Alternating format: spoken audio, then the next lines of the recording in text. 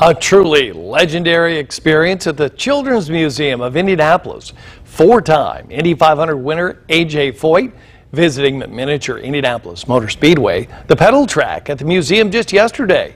He spoke in front of dozens of people talking about his life experiences from living on a ranch to horse racing and of course his favorite racing moments winning the Indy 500.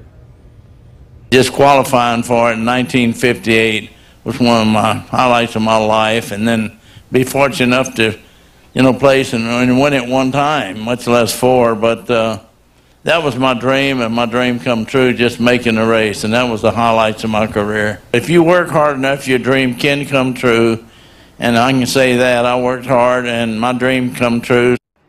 Foyt also got the chance to see the bronze statue of him at the museum, calling it a great honor, which he also says that he was jealous of, since it was of him when he was younger.